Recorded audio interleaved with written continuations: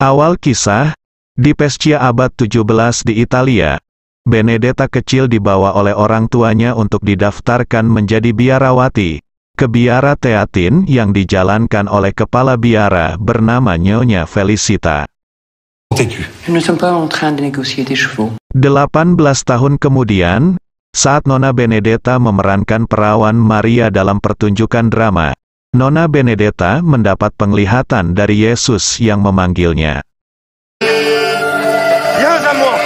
Setelah pertunjukan drama selesai, Nyonya Felicita mengadakan jamuan makan bersama kedua orang tua Benedetta. Benedetta menceritakan kepada ibunya telah melihat Yesus. Saat kedua orang tua Benedetta hendak pergi, tiba-tiba ada wanita petani muda meminta pertolongan dari kejaran ayah tirinya yang kejam. Wanita itu bernama Bartolomea, dia meminta untuk tinggal di biara. Il faut payer pour rentrer ici. Nona Benedetta yang melihatnya merasa kasihan, dan meminta ke orang tuanya untuk menolongnya. Tidak berpikir panjang orang tua Benedetta mau membayar biaya masuk untuk Nona Bartolomea. Plus les frais d'un bon chien pour remplacer. Nona Bartolomea segera membersihkan diri. Saat Nona Benedetta mengantarkan handuk, terlihat gunung kembar nampak, membuat Nona Benedetta terpesona. Setelah mandi, Nona Bartolomea meminta diantarkan ke tempat buang air besar. Di sana mereka ngobrol, dan Nona Benedetta sudah ada rasa terhadap Nona Bartolomea. Tiba-tiba datanglah Nona Christine dan menegurnya. Lalu mereka hendak pergi ke kamar masing-masing, dan Nona Bartolomea tiba-tiba mencium Nona Benedetta. Keesokan harinya, di ruangan latihan nyanyi, datanglah Nona Bartolomea dan diam di belakang Nona Benedetta. Lalu dia memanasi Nona Benedetta dengan sentuhannya, tapi tiba-tiba Nona Benedetta sedang dikejar ular, dan ditolong oleh Yesus.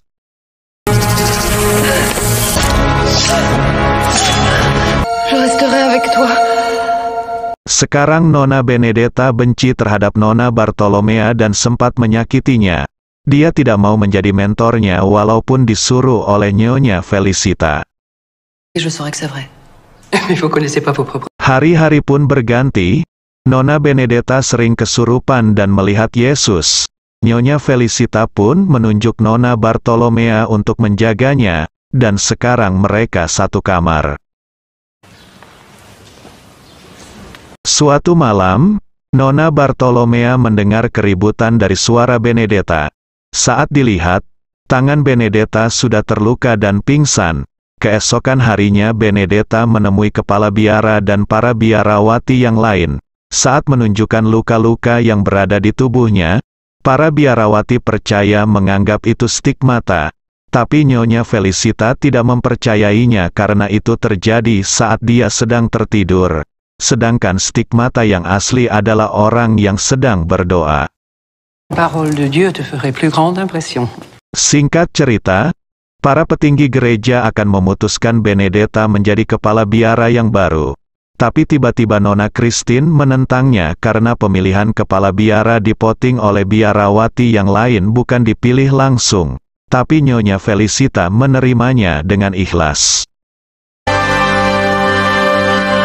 Setelah menjadi kepala biara, Benedetta senang dan puas menganggapnya sudah bebas.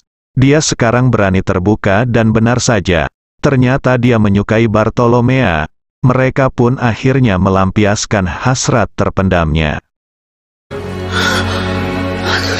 Waktu pun berganti, Nona Christine ternyata tahu, kalau Nona Benedetta sudah berbohong atas stigmatanya, dia melihat Nona Benedetta melukainya sendiri menggunakan pecahan tembikar, tapi orang-orang tidak ada yang mempercayainya.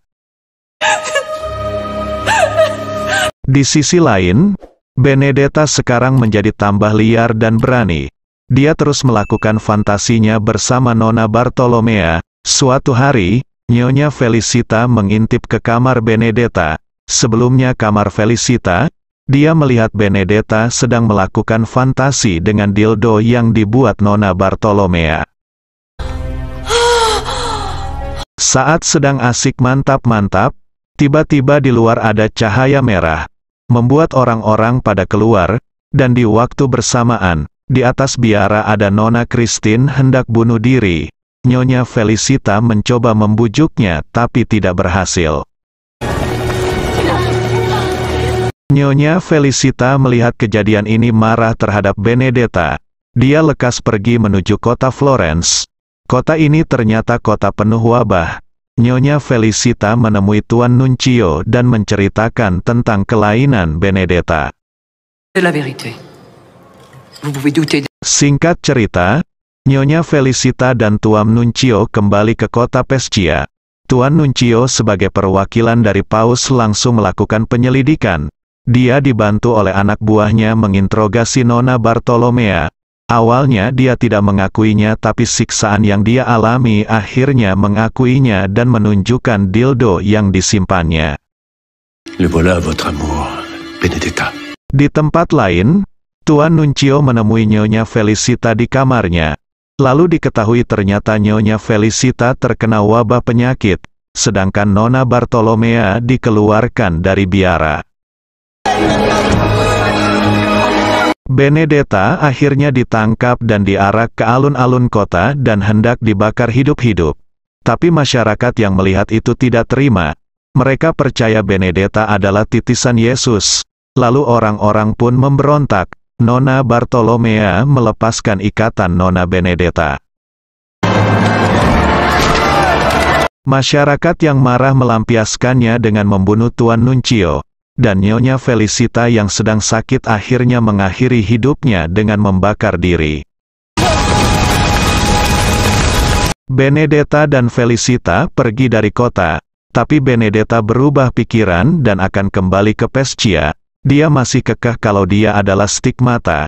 Tapi kesaksian Benedetta ditolak. Benedetta tetap tinggal di biara dan terisolasi sampai akhir hayatnya di umur 70 tahun. Dan film pun akhirnya selesai.